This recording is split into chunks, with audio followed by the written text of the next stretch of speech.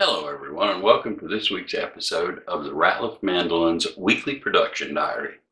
It's Monday morning, and I expect that every day this week the job jar list will be exactly the same. I will start the day by emptying out the metal bending molds where I've bent the sides and take those sides and put them in the wooden molds where I can glue the blocks and the interior linings and stuff in the bent sides. And then I will bend more sides in those metal bending molds and glue up the blocks in the wooden molds. And that will be about all I can do in the bending sides part of things that day. I will then move on to the table that I have specially built to uh, carve out the tops and the backs. And right now I'll be working on 10 tops so that hopefully I will have those tops ready to glue on by the time I have some sides that have had all the blocks and linings glued in and they will be ready to have the top glued on. So that's the whole idea is to have the tops ready about the same time the sides are ready. And I'd bet money that that will be my day every day this week, Monday through Friday. So we'll start bending sides right now.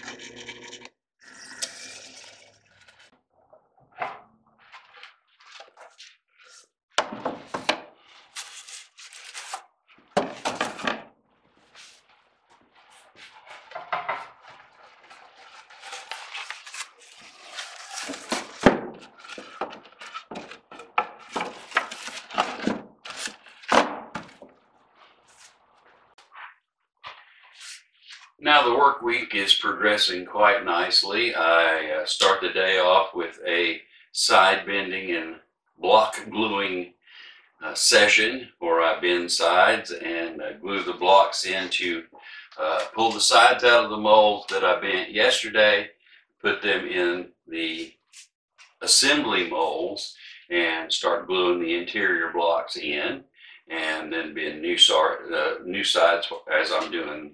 Basically, I do about two or three jobs at the same time.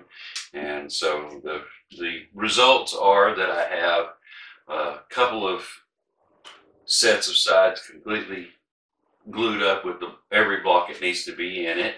And then I've scattered back down through the process. There's uh, sides, sets of sides with only maybe just the head block or the head block in the first corner uh, point and that sort of thing glued in.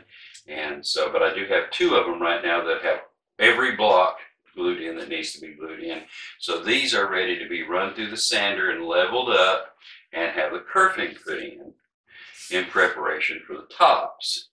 And the tops, as you've seen, all of those tops that we have laid out are um, shaped on the inside, smoothed down to 220 grit, just as slick as slick can be, and the, at least the inside is ready for the tone bars, and the outside, of course, is still very, very rough. And uh, for those of you who don't know, I set up a drill press with a stop here, and a, the drill bit comes down, and it's only allowed to go so far down and leave an empty spot right there. And then we run the top through there and drill so that when we sand or carve down or clean up, however we choose to do that, to the bottoms of the holes, then we have a shape as we go this way. Uh, the top is all the same thickness. Now that's not done because we want the top to taper out and have a certain shape. And so once I get the rough uh, wood off, then we'll go back and do the same process again, usually two times or maybe three times, uh, each time kind of easing that uh, drill bit down just a little closer and we go to the bottom of the hole and we start using finer and finer tools as we do that uh, until we have the final shape for the top that we're that I that's that I, I'm looking for and then I'll glue those tone bars in and then they will be ready to put on this set of sides and then we'll have the first of the mandolin carcasses if you want to come out and they'll be ready to move on to the next processes. So that's where we're at right at the moment. It's Thursday morning. I've got a couple more days in, in this week to, to, uh, to work and we're just going to continue plodding along.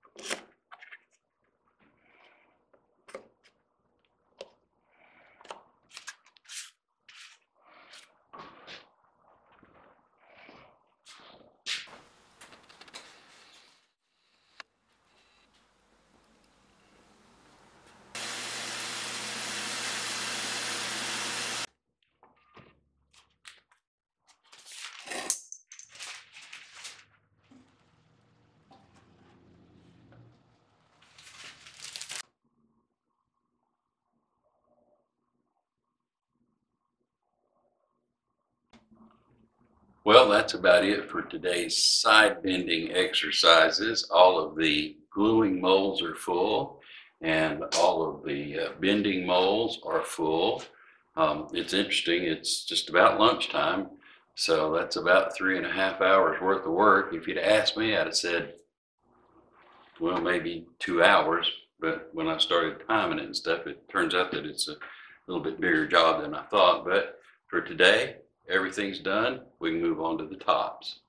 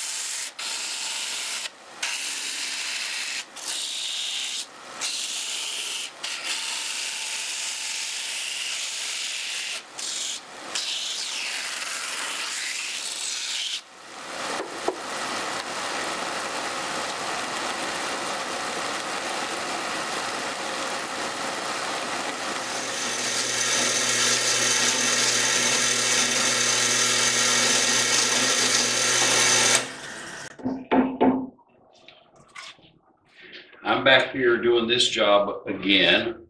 Everything has been set just a little closer. This time we're going to go over it with some finer grit paper on a smaller sander rather than that big wood hog that I've got.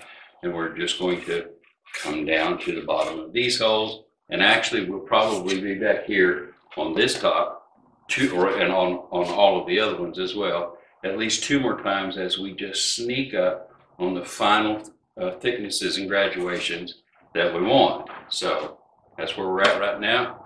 I've got all these tops. This is the first one that I'm running back through again to get just a little closer to where we want to end up at.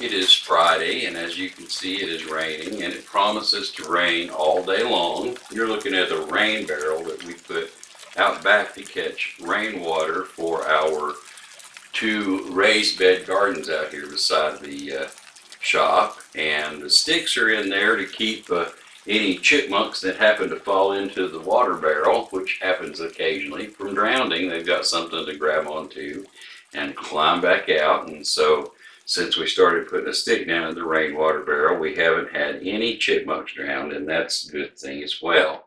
Now, like I said, it is Friday, and so uh, it's time for me to close this video off, but let me share what I need to share with you before we do that. Uh, number one, we've got a set of Rubner tuners here, mandolin number six in this batch.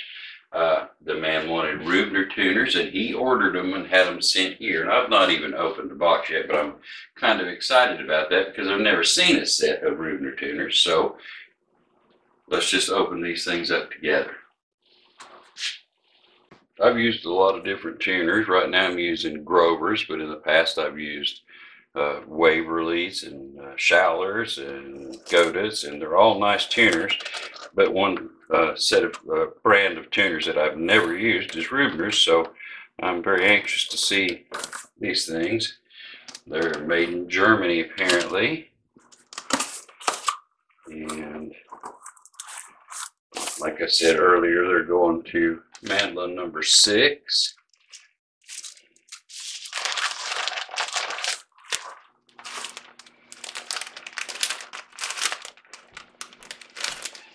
Okay.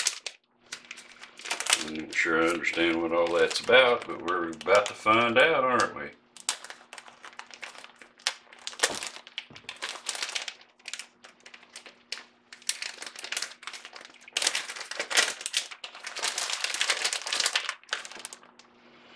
That's obviously some sort of tool.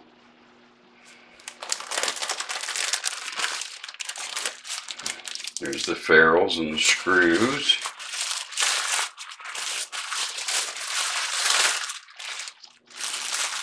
Oh wow.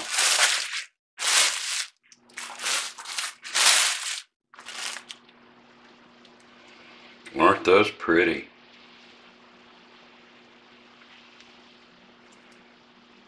Golly, very tight and very smooth.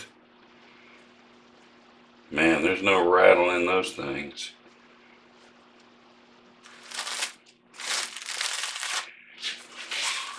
Now notice it's got a raised edge right here. And I'll bet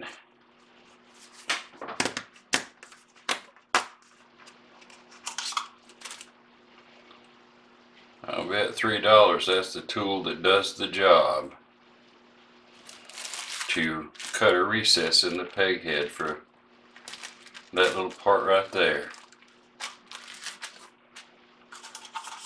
Boy, those are nice tuners.